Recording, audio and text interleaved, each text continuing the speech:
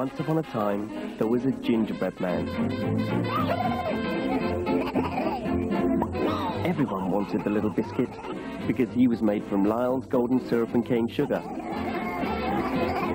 From Tate and Lyle, the only cane sugar refiners in the kingdom, and makers of the snow whitest icing sugar.